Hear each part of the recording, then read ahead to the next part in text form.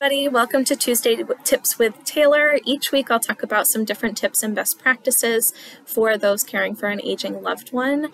For the month of September, our focus is going to be dementia support. So you might be asking yourself, what is dementia? Dementia itself is an umbrella term for a collection of symptoms that are associated with a decline in memory severe enough to reduce someone's ability to perform everyday activities. Things like getting dressed and showered in the morning, waking up and making our beds, or making some breakfast for ourselves. All of those tasks become more difficult as somebody that is diagnosed with a cognitive impairment continues in their progression of the disease. There are four truths about dementia. At least two parts of the brain are dying. It is progressive, meaning that it keeps changing and getting worse. It is chronic, so there is no cure at this time for dementia, and unfortunately, it is terminal. According to the Alzheimer's Association, over 11 million Americans are providing unpaid care, totaling out to about 16 billion hours, valued at $272 billion. In 2020, COVID 19 caused a 17% increase in deaths as a result of Alzheimer's or other dementias.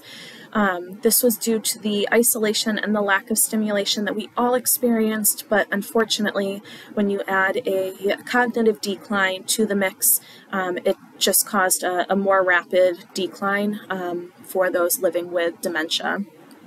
At this time, there are more than 6 million Americans that are living with Alzheimer's as a diagnosis as well. So, the Alzheimer's Association is a great resource for people living with dementia and their family members.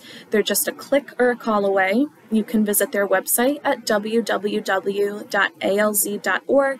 or you can call their 24 7 helpline at 800 272 3900 the Alzheimer's Association is able to provide you with information on local support groups, educational seminars that are available for both professional and family caregivers, care resources, caregiving tips, help with advocacy for a loved one or for yourself, and information on research that's currently being conducted with regards to Alzheimer's and other dementia diagnoses.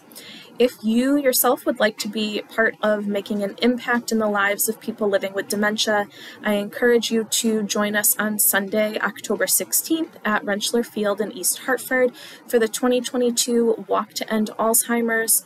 Follow the link in the description to register or donate. I really hope to see you there, and I really appreciate you taking some time to sit with me this Tuesday.